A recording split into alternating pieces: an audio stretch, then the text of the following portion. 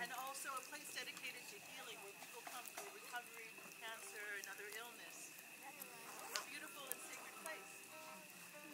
But as we nourish ourselves with food and drink and good company, let's also nourish ourselves and each other with stories.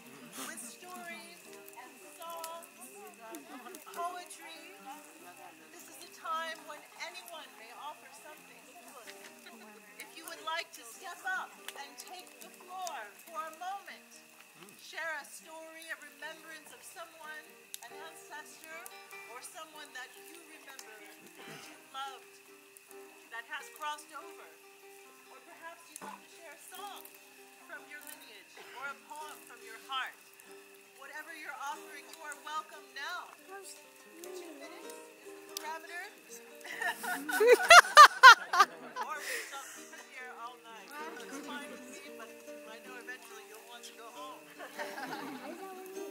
two minutes.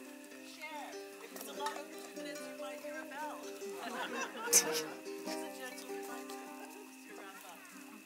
And when we have had an offering from anyone, let's make a beautiful toast. The toast is this. We say, we remember you.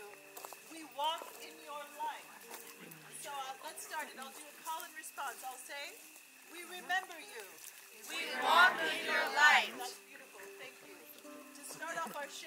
Will only say this. Everything that we're doing here tonight started from a dream. It started from a dream I had after a beautiful show we created, and somebody asked me from this community here somewhere in West Marin, would you host a Dia de los Muertos ritual in this way? And then I had a dream that all of us were sitting at a big banquet table with all of the ancestors, a feast of the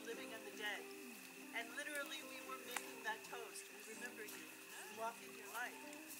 And then the arrival of several goddesses and one god who were the deep initiators of deep soul journey came and took us to another level.